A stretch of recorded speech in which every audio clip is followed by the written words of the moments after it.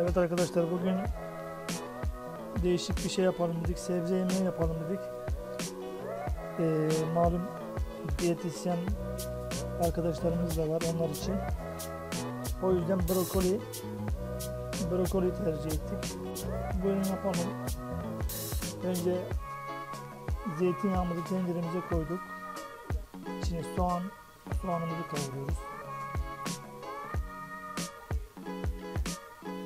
Brokolilerimizi ayıkladık, suya yatırdık. Malzememiz belli orada. Kereviz, havuç, biber, biraz kuşkonmaz, iki tane domates. Böyle tam bir sebze yemeği olsun.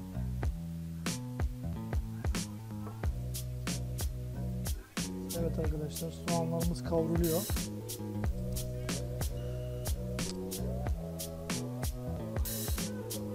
Malzemelerimizi sırasıyla koyuyoruz. Soğandan sonra havuç, kereviz,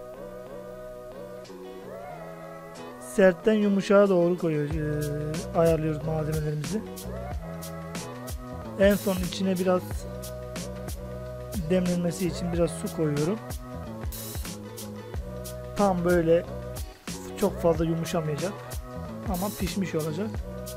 Bu şekilde afiyetle yiyebilirsiniz. Hepinize sağlıklı günler dilerim.